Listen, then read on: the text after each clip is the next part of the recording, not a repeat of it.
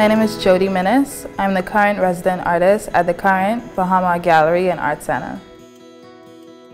Interestingly enough, I was driving down Village Road and I saw a mural on this building and I told my mom to pull over. I didn't know what was in the building, but I was just like, I, I have to go. We went upstairs, the door, Alan Wallace, Javon Nixon, Ellery DeVoe, and Moya Strawn was hosting art classes in that building. I, that was the beginning.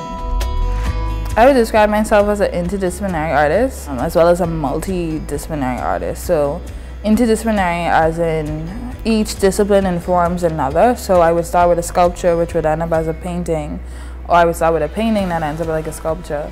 I also produce works as in sculptures stand alone and these paintings stand alone. So I do many different things, um, but they all inform one another. So I start with concept first always. So I think about why I'm creating what I want to create. And then I go through um, a photography process. So I photograph myself, or I photograph friends, or I just like look at all of the photos on my phone for visual reference. And then I would either trace it or I just freehand it and then mix up the oil paint and that's that. I reference aspects of Bahamian culture, specifically through different forms of media, whether it's like music or videos that I see online, um, or conversations that I have like with my friends.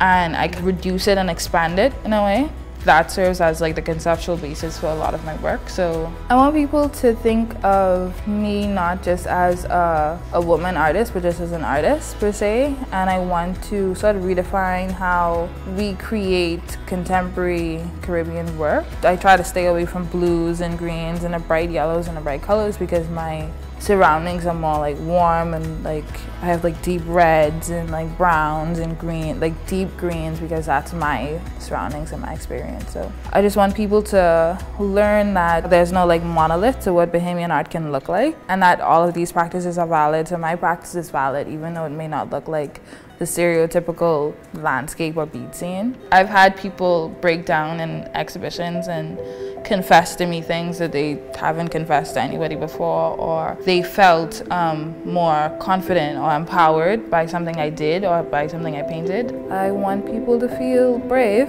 and courageous because that's what I try to be in my work.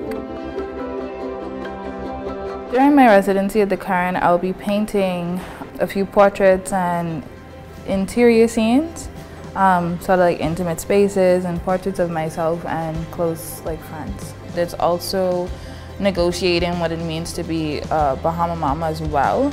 So taking that term like super literally, but also like reducing it to like a stereotype as well. Just creating other like pockets and possibilities and timelines through that. I forget that I'm in a hotel um, until I look behind me and I see like the mirror and people like watching me work. I forget that this is work, if that makes sense. It feels like I'm going into my own studio to create work um, and it's only until like 10 p.m. at night where I'm like, oh shoot, they're closing, I have to go. Overall, it's been a lovely experience because just that um, community aspect of it, I think it's unparalleled. You can't really get it anywhere else. I'm enjoying the work that I'm making. I think that I'm in a stride now. So yeah, I'm thoroughly enjoying this residency.